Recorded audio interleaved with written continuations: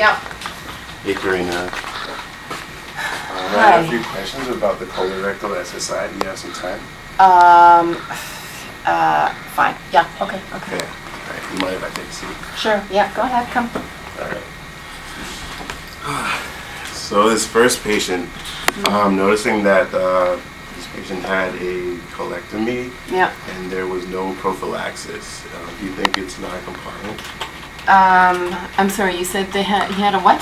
Uh, there was a colectomy and there was no prophylaxis found in the chart. I don't know if that is compliant or not compliant. Okay. There's also no drain. You looked it up on the guidelines and the tips I gave you? Yeah. You've gone through all that? Yeah, Okay, and, and didn't I show you on the, on the intranet here, that's something you can look up? Did you do that? Yeah, this is only my second case. I was wondering if we could just go over it again. Uh, yeah, okay. Look Okay. One more time. I don't know where it is on the drive. Can you help me out? Yeah. Okay, and you know what I'm gonna do this time? I'm gonna email it to you so you have it on record and you don't need to come, keep coming back, okay? Great. great Sound like a great. plan? That's good. Great.